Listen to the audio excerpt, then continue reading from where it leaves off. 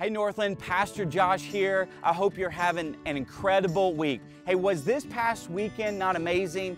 Let me tell you, my family and I, we are so grateful for how you warmly received us. We are truly overwhelmed by your gracious hospitality and your warm welcome. But hey, that, that's just the beginning, right? Well, hey, we got we got this weekend coming up, uh, the series, the journey. We are still in it, and you might be wondering, well, why you got your golf clubs? These are my golf clubs, and and let me just say, by the way, I am so ecstatic to be in a state where I can play golf year around. Now, for you older generations, you baby boomers, you Gen Xers, you know these characters, Rocky and Bullwinkle. Maybe you millennials, you Gen Zers, you might not know who they are. They're just cute head covers. But, but you're probably thinking, what, what do these have to do with this coming weekend? Well, uh, the thing about golf, which I got to play this past week, by the way, yay, I have a golf towel. And, and I love using this golf towel because whenever I hit my irons, my driver, and I get mud on my clubs, dirt on my clubs, I get to use my towel.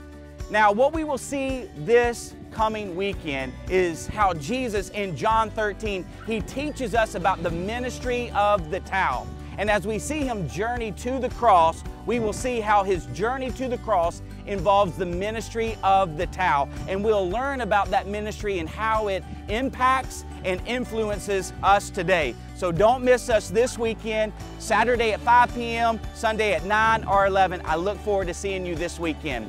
Blessings.